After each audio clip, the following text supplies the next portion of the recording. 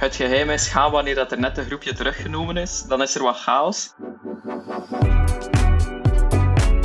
Goedemiddag en welkom bij de 48e editie van de Volta Limburg Classic. 196 kilometer gaan we koersen door het Zuid-Limburgse heuvelland. De Volta Limburg Classic, een wedstrijd over eh, 193 kilometer, d- bijna 3000 hoogtemeters in het Nederlands Limburg. Start en finish in IJsden eh, en het thuisparcours van onze ploegmaat eh, Wouter. Daarover gesproken, 82 kilometer te gaan.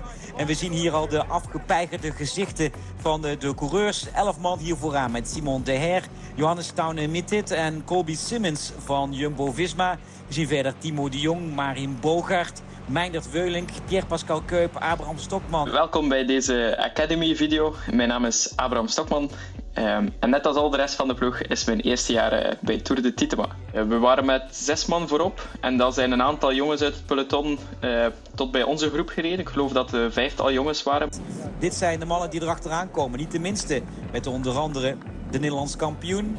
Het geheim is, ga wanneer dat er net een groepje teruggenomen is, dan is er wat chaos. En erop rekenen dat er een aantal ploegen mee zijn die ook ploegmaten hebben op de eerste twee rijen van het peloton. Eh, zo waren Joren en eh, Harry op de eerste rij vertegenwoordigd. En dan weet je, die gaan niet, die gaan niet achter mij springen. Eh, die spelen in het ploegenspelletje mee. En op die manier heeft ook Wanty snel de baan eigenlijk proberen blokkeren, waardoor dat er heel weinig jongens zijn die nog kunnen springen. En eens dat, dat het gat dan iets groter is, wordt het ook moeilijk om vanuit het peloton dan nog een aanval op poten te zetten. En zo hadden we eigenlijk geluk om, om vrij kort na de start al, al weg te zijn met, eh, met zes, man. Ehm, en dan is het wagon- wagonnetje aanhaken, eh, meerijden en hopen dat, er, eh, dat je ver in de finale kan komen. Het was zeker het idee met de koude weersomstandigheden ehm, en ook met het parcours die continu op en af draaien en keren is, zit je in de aanval wel heel veel krachten te, te verspelen, maar zijn de piekvermogens net iets lager. Waardoor dat je meer kans hebt om ver in zo'n finale te komen, eh, niet koud te krijgen met, de, met het eh, opspattend water in het peloton. We kijken hier in het aangezicht van Abraham Stokman, die dat goed deed in de beklimmingen onderweg. Namens eh, de ploeg van Bas Tietema, althans, eh, hij rijdt hier zelf niet. Maar wel eh, TDT Unibet, de ploeg van Rob Harmeling. Terug naar eh, de kop van de wedstrijd bij de mannen op de Loorberg. Op de Loorberg kwam, kwam mij ook een, een groep met drie Lotto, Lotto Destiny renners aansluiten. En Maxime van Hils heeft eigenlijk eh, onmiddellijk de aanval ingezet van achteruit. Op die moment heb ik getwijfeld om all-out te gaan richting het wiel, maar eh, ja, een klein beetje schrik met nog 72 kilometer op de, op de teller om direct alle kaarten op tafel te werpen.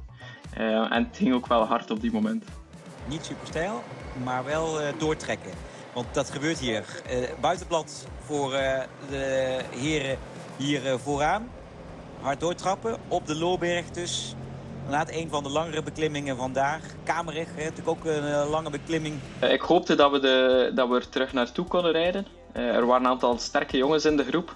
Ehm, ook boven, bovenaan, net voor de top, dacht ik van oké, als we nu nog één keer kunnen een tandje bijschakelen en we, we houden ze binnen, binnen het zicht, dan kunnen we er terug naartoe. Ehm, maar het was net omgekeerd, dus ze schakelden eh, twee tanden bij en ze waren gaan vliegen.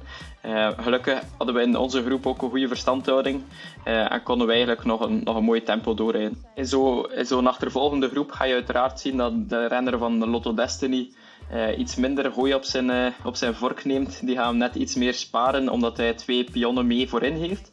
Eh, maar de andere renners die hadden eigenlijk geen reden om te wachten. Het is ook geen parcours om te wachten. Je kan beter continu blijven doorrijden en zorgen dat je eigenlijk ja, zo snel mogelijk het gat kan verkleinen of, of zorgt dat je mee bent. Ik was er wel van overtuigd dat, dat we eigenlijk al bezig waren aan de finale. En dat je wel meedeed voor een mooie uitslag. Ik was zeker tevreden. Was ook echt wel met de insteek dat ik dacht van oké, als, als dit scenario zich voordoet, kan ik een beter resultaat rijden dan vorig jaar. Eh, en het was eigenlijk het, het scenario dat we ook vooraf met de ploeg besproken hadden. Eh, dat als iemand eh, in de vroege vlucht geraakt, is dat misschien het, het ticketje om een finale te gaan rijden en een dikke uitslag te rijden. Dat zijn de vier van ook de grote ploegen die hier vertegenwoordigd zijn in deze Volta Limburg Classic bij de mannen. De, de bergprijs, ik had vooraf in het roadbook gekeken hoe- dat de puntenverdeling zat en op welke bergen dat er puntjes te rapen vielen. Ehm, maar ik wil er ook niet iedere berg all-out voor gaan, um, om, de, om dan eigenlijk geen finale te kunnen rijden. En nu heb ik vrij ja, makkelijk is het nooit, maar economisch kunnen een aantal punten meenemen. En dan, dan had ik het geluk om uh, op het podium nog eens te mogen. Had ik wel verwacht dat hij mee zou zitten hier. Ja. Als, als het niet na drie, uh, kilometer lukt om weg te rijden, uh, dan is er een mooie afwisseling, zoals Jore mooi vertegenwoordigd in de eerste twee ontsnappingen. Uh, en dan voel je al van, ah, ze gaan bijna teruggegrepen worden. Zorgen dat je, dat je klaar zit op de eerste, tweede rij om, uh, om zelf een poging te wagen. En zo is er een mooie afwisseling tussen, uh, tussen de ploegmaten om, om sowieso te zorgen dat de, het blauwe truitje vertegenwoordigd is vooraan. Op zich wist je op voorhand dat, dat regen en koude ging zijn, ook met de afdalingen. en dat was ook wel een, een bewust voordeel in de kopgroep, dat je eigenlijk continu relatief gas moet geven, doorrijden en een beetje warmer blijft dan in een peloton waar dat echt wel met momenten stilvalt. Um, je kan ook makkelijker een regenjasje extra vragen of een, een extra uh, bodywarmer uh, om in het geval dat het koud zou zijn. Uh, ik zelf heb er weinig last van gehad. Ehm, maar ik kan me wel voorstellen dat met dezelfde benen, uh, als ik niet mee was in de vroege vlucht, dat dat ook uh, exploderen zou geweest zijn als de, de mannen van Lotto uh, de, boel, de boel op gang brachten. Sprinten omhoog om nog een plekje te halen. Milan Mente wordt hier vijf. Uiteraard wil je dan nog net iets beter dan die negende plaats. We naar die achtste, zevende, zesde, vijfde plaats. maar ik denk dat we heel tevreden mogen zijn met, met de negende plaats en de bergprijs. Vond je deze video nou leuk? Uh, geef deze video dan een like, een comment. Um, en als er nog vragen zijn, hier beneden. Het is nog, het is, het is nog niet zoals Kopetski. Het is nog niet zoals Kopetski. die, die komt iets natuurlijker over.